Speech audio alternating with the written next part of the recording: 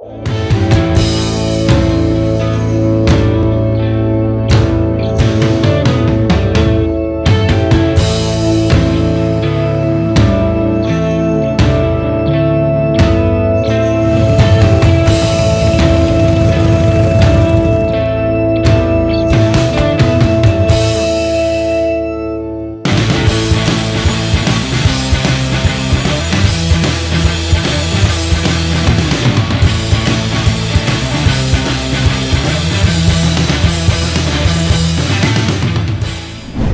Halo. Michael.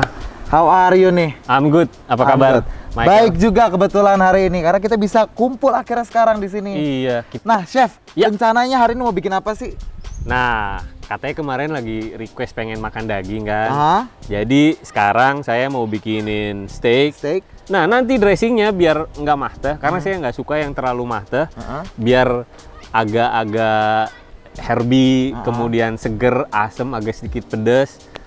Eh, ini nih, saya mau bikin chimichurri. Cim, cimi, Cim- chimichurri. Nah, Oke. boleh. Oke, Silahkan. Ini kita uh, udah di preheat langsung ya. aja di Yes. preheat. Nah, pertama kita mau bikin dulu sausnya dulu. Nah, Oke. jadi ini di eh, chop. Oke. Sebenarnya boleh finely chop atau misalnya roughly tergantung dari selera sih sebetulnya. Yang penting bahan-bahannya itu eh sudah apa ya memenuhi syarat lah. Oke. Nah ini kita langsung masukin ke sini. Mhm.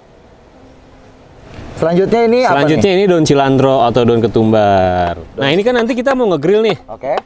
Nah ini dari tadi tuh saya ngelirik sebelah kiri. Ini apa? Ini apa? Oke, ini dia. Ini tuh sebenarnya dibilang produk terbaru enggak. Mm-mm. Sebenarnya Oxon sendiri tuh punya electric grill yang lebih panjang. Oh ini elektrik. Elektrik, jadi nggak perlu ribet-ribet. Karena kan kalau misalkan kita pengen ngegrill, kita mesti cari api, tungku segala macam, repot. Repot. Nah kalau sekarang kita keluarin nih yang eh, elektrik, Mm-mm. versi lebih kecilnya, lebih mininya. I see. Jadi semua orang pastinya bisa ngegrill di rumah di aja rumah aja dan simple. dan nggak ribet ya. Betul itu dia. Oke, selanjutnya kita pakai apa lagi nih? Kita pakai rosemary. Oke, rosemary. Itu ada rosemary. Nah, kebetulan ada rosemary. Apa nih. kita langsung cabut seetik aja kita nih? langsung Boleh. ambil. Setitik aja. Kita ambil, nggak usah banyak-banyak.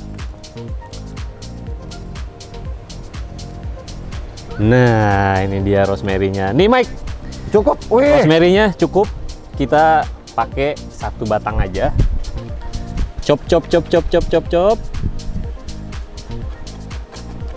Ini kita Chef, sembari Ya. masak nih, sembari Boleh. bikin. Hobinya apa sih? hobi saya itu hobinya lebih ke berkegiatan outdoor. Oke, berkegiatan outdoor. Karena kan tadi pas nyampe sini pun menggunakan motor, yang Motor. kece banget lah dibilangnya kan gitu. Itu memang salah satu hobinya nih. Iya, itu adalah salah satu hobi saya. Jadi gimana ya? Itu salah satu sarana untuk refreshing saya. Jadi Oke. untuk menghilangkan kepenatan, Stres, ah, ah. stres. Jadi saya sering eh, Jalan. jalan berkendara, naik motor. Aha.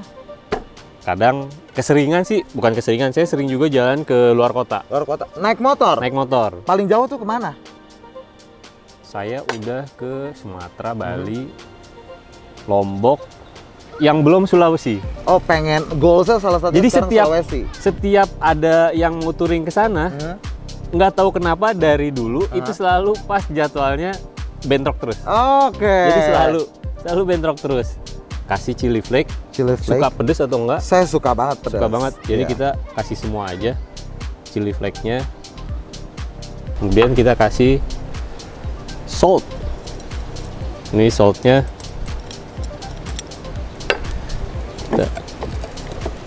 Biar nyatu. biar nyatu.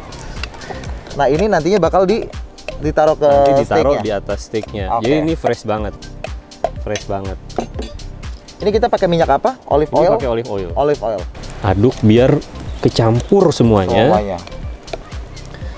Jadi garlicnya juga jadi satu. Kena semuanya Kena ngiket ya. semuanya ngiket. Nah, untuk Oxon lovers yang pengen lihat cara bikinnya kan udah pasti nih lihat dari video, tapi resep-resepnya pastinya juga bakal kita taruh di bawah ini nih. Nah, Di caption di bawah ini pokoknya kalian bisa recook. Kalau misalkan kalian dari cook bisa langsung tag ke Chef langsung tag ke saya. Kali aja nanti bisa eh, tanya-tanya tips and tricks how to Bisa. make a good Bisa. steak Nanti tentunya.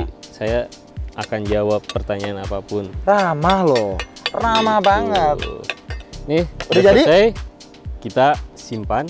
Nah, ini kita ambil garam secukupnya. Oke, ini Karena ini kenapa ini garamnya rock berbeda salt. nih? Rock salt. Jadi kita agak sedikit haluskan Aha. biar nggak terlalu. Saya emang butuh garam yang kasar, tapi Hah? jangan terlalu kasar. Pertama, ini ada daging. Ya, ini daging. Nah, ini kita eh, Balurin kasih- dulu ya. Balurin. Kemudian kita rubbing.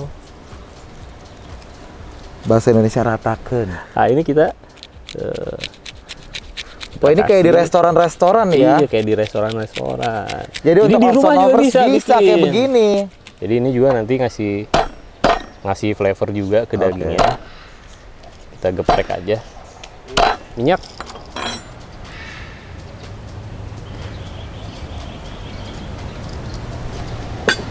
Nah ini eh Udah ada, ready ya? Iya ini ada kayak pan grill gitu. Jadi ini bagus kalau misalnya mau kasih marking. Kita langsung aja simpen sini. Ini kita simpan di sini. Jadi nanti dagingnya kayak ada markingnya gitu. Oh ya ada garis-garis. Ah, ini kita diemin aja, nggak usah diapa-apain. Mhm. Karena kalau diapa-apain, satu jusnya keluar, dua kalau pengen ada marking, markingnya pasti nggak akan keluar. Oke. Oke, chef. Berarti sekarang nih kita nunggu eh apa lagi nih supaya steaknya bisa Nah, jadi? ini supaya em, steaknya jadi, ya. Kita tunggu sampai dapat color ya. Jadi Oke. ini kita diemin aja dulu. Oke, sekarang kita eh Dipindahin ya, digeserin ya, dikit. kita geser. Jadi sekarang kita kasih butter juga, Mhm. kita basting nanti sama butter. Kenapa saya nggak dari awal masukin butter? Karena kalau kita masukin butter dari awal, butter itu dia mengandung air Oke. Dan dia itu akan cepet gosong jadinya. Oke. Gitu. Nah ini butternya itu yang salted atau unsalted? Unsalted. Unsalted. Unsalted. Berarti nanti dikasih garam lagi atau enggak? nggak usah. Nggak usah. Cukup berarti ya? Cukup karena juga sudah dapat dari eh, sudah dapat flavor dari ini dressingnya. Nah ini jadi kita siram-siram ke sini. Jadi nanti eh, butternya ini diserap oleh dagingnya. Oke. Uh, wangi banget ini dagingnya. Kita balik, kita balik.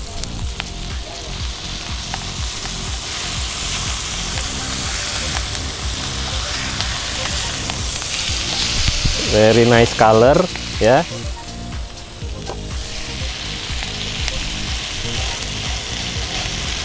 Ini kita angkat lagi.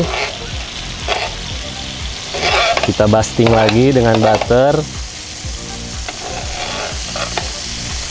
Nah, ini sudah matang nih, Mike. Sudah jadi ya? Sudah jadi. Nah, Ini berarti yang dicari colornya iya, ya? colornya tuh kayak gitu. Jadi ada caramelize dari daging, warnanya Aha. juga dark, deep.